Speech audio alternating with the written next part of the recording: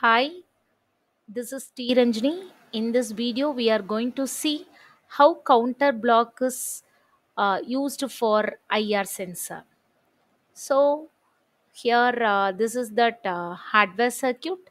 So, the Arduino board is connected with the uh, system with the USB and IR sensor. This IR sensor is connected to digital pin 2 and uh, uh, two output uh, devices are connected one is led which is connected in pin number 13 and uh, buzzer is uh, connected uh, in the pin number 8 so the simulation circuit for the coding for Arduino is shown here. Here, the digital input IR sensor block, that is a digital input block, it is connected to the logical operator NOT block.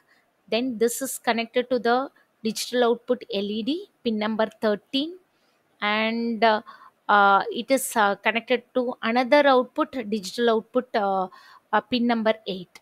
So, here the counter block is used where uh, the counter block maximum count I have taken as 6 that is for my application if uh, 6 object is detected then buzzer is uh, turned on. Okay so that is the application I have taken. Uh, so uh, I have taken the condition as compared to constant. So greater than or equal to 6 the buzzer is turned on. Now we will see the simulation. So for that uh, you just click on the monitor and the tune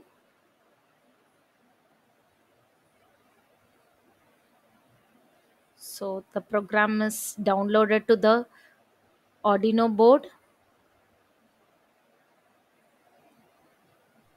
Now it's running. So the object is not detected. Uh, so both uh, digital output and then uh, counter is zero. Now we are uh, keeping the object.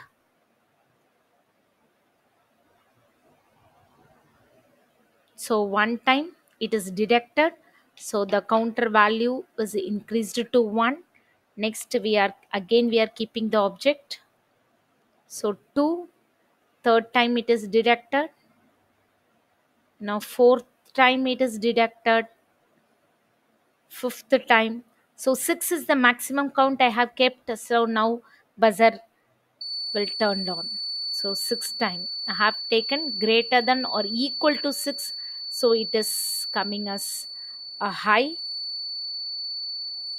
Now again the counter is reset to 0 so whatever the maximum count you can keep it. So the counter value 6 i have kept.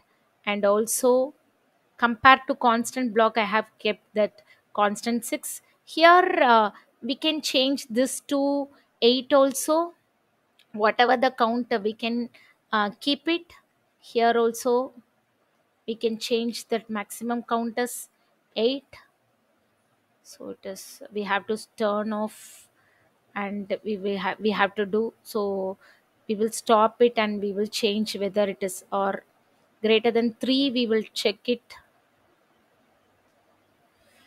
So for third